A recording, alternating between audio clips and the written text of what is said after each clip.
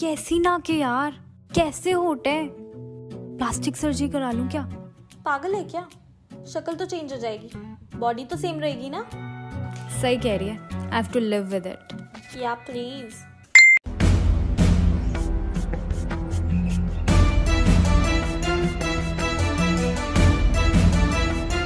मैं आपकी वाइफ को बुला कर लाती हूँ।